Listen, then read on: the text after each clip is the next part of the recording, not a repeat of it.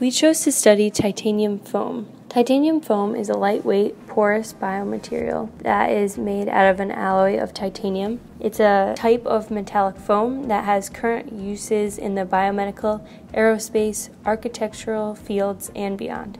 Titanium foam is produced by a method called the slurry method.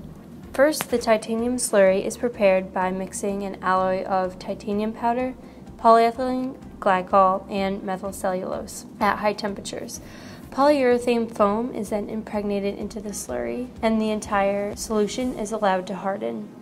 The mixture is then sintered in a vacuum at high temperatures, and the resulting structure is quantified using machines such as a scanning electron microscope and X ray diffraction to ensure that the material has the correct porosity, chemical composition, and structure. Titanium foam is composed of an alloy of titanium and polyurethane. Polyurethane is included in order to ensure a high yield strength of the metal while keeping its density low. Currently, there's being work done on the composition of this alloy to improve it, including adding polyethylene glycol and methyl cellulose to the alloy, which increases its porosity and tensile strength.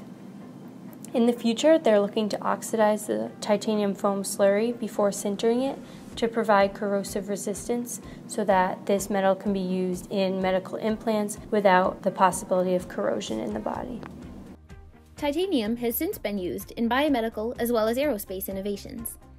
For example, titanium foam is molded into a bone like material to be used for implants. Damaged bones can be strengthened or replaced with this material, as its spongy structure imitates that of normal bone, and in turn still allows for blood vessels and nutrients to pass through it, Additionally, titanium is able to handle large amounts of pressure, which makes it ideal for joint replacement surgeries. Composite metal foams such as titanium foam can maintain high tensile strength at temperatures up to 400 degrees Celsius and are therefore excellent materials in architectural design in order to withstand temperature variations in severe weather conditions. The material also naturally absorbs sound, meaning that it can be used to dampen large rooms and serve as a more aesthetically pleasing alternative to acoustic panels. One challenge that engineers encounter when designing electronics is managing power loss in the form of heat. Titanium foams are one prominent passive solution that can be implemented into cooling systems when fans cannot. We see this most recently in LED lamps to decrease the internal temperature of the LED. In the future, we will likely see composite foams such as titanium foam as the primary materials in body armor for military and first responders. The goal in choosing a wearable material for this purpose is maximizing durability and minimizing weight, both of which are achieved by titanium foam. As the foam can stop or destroy a bullet, it makes sense that we would also see this used for car parts, and particularly bumpers, to nullify the effects of a roadway collision. For this reason, titanium foam may also appeal to the commercial market. The story of titanium's origin is truly fascinating. Just like numerous other elements and metals on the periodic table, titanium was first created in supernovas, and as much as 100 times the mass of Earth of titanium 44 can be made per supernova. Reverend William Gregor was the first to discover the element in 1791, but in 1795, Martin Heinrich Klaproth was the first to officially identify and name titanium. Titanium has also been used industrially for years since the 1930s, when William Kroll invented an extracting method.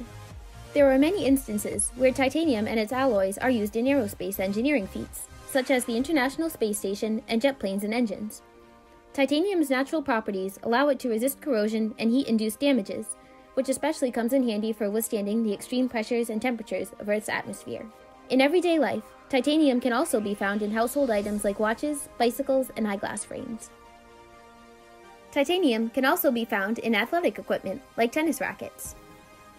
Titanium alloys have important commercial and economic implications. The use of titanium alloys in the aerospace industry is increasing as it offers higher strength at increased temperatures as compared to other metal alloys. So, many aerospace industries are switching to this metal in order to ensure longevity of their mechanics.